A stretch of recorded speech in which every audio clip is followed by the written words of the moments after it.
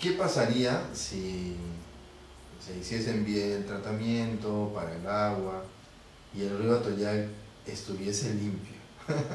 ¿Eso impacta? ¿Eso impacta? Claro, claro. Mira, desconozco los detalles, pero si tú observas la Ciudad de México y Puebla, tenemos ríos entubados, entre ellos el San Francisco, el que está por abajo del Boulevard de 5 de Mayo. Y en y en México, pues el río Churubusco, etcétera, etcétera, etcétera, ¿no? Pero esa no es la solución. O sea, es como quien pone la basura debajo del tapete, ¿no? Hasta que se te hace así. Eso es evitar ver algo que te molesta, pero no estás resolviendo nada.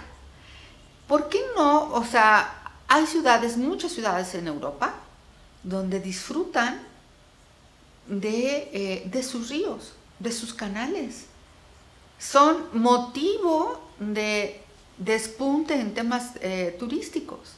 ¿Por qué no soñar con una Puebla así? Claro. Imagínate, o sea, a ver, el río Atoyac, eh, aquí pasa por la zona, este, digo, la, zona más visible en la ciudad de Puebla, está precisamente por la por donde está este, el parque lineal. ¿Por qué no pasa? Imagínate que pasara por ahí agua de buena calidad. A lo mejor se, estarían peleando los lugares para poner cafeterías, restaurantes, hoteles, y no el molesto olor por, de menos, independientemente de lo que está pasando por ahí. Sí, por eso está desolado, ¿no? Porque hay, hay, hay locales, ¿no? Como para tiendas, pues, pero no hay ninguna tienda comenzó, pero de ahí ya, no hay nada. Sí, eh, hubo, bueno, no, eh, desconozco el detalle, pero a mí no se me antojaría, o sea, lo que hizo ese parque, una de las cosas que hizo ese parque fue visibilizar un río que para muchos no existía, solamente los malos olores. Para eso sirvió. sí, sí, acercarlo, ¿no? O al menos estar consciente de que existe. Finalmente, para ti, ¿qué es lo más eh, importante o qué te gusta más, digamos, como ingeniero ambiental? Saber que puedo hacer algo. Es decir, problemas, y yo creo que un ingeniero precisamente se dedica a resolver problemas. Esa es, digamos, una habilidad que debemos de tener los ingenieros. Tenemos que ser creativos, tenemos que eh, generar las herramientas o las posibilidades para poderlo hacer.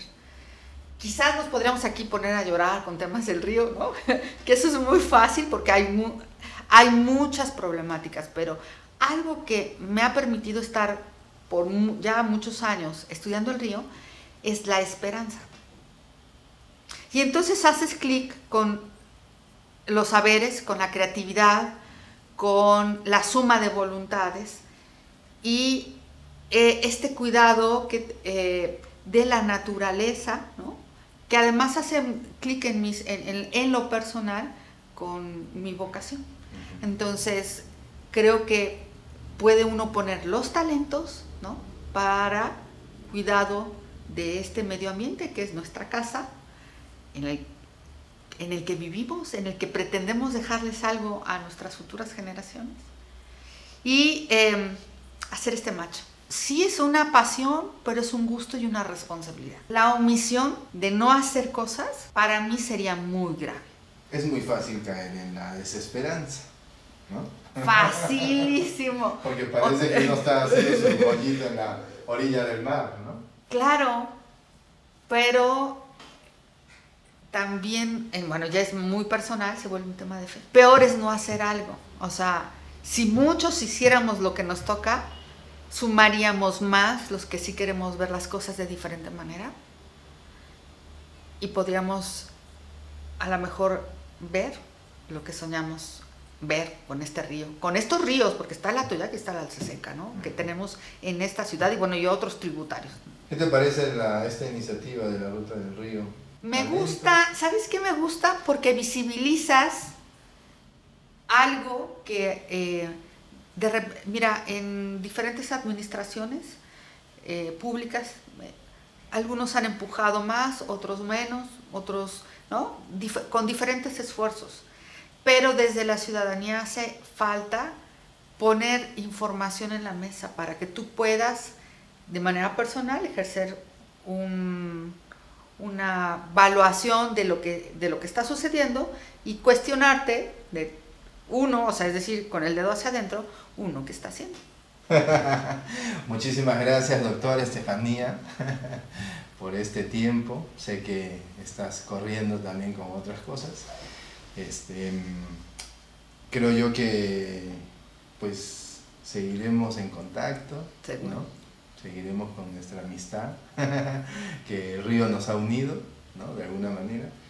Y, este, y pues te agradezco mucho el tiempo y si nos despedimos, miramos allá así la cámara, este, pues la mejor opinión es la de ustedes, ¿no?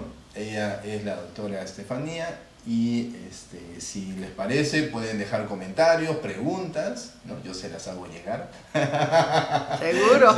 Y este, pueden compartir esta entrevista y nos vemos en el siguiente video. Muchas gracias, gracias Estefanía. Gracias a ti, Pepe. Muy bien.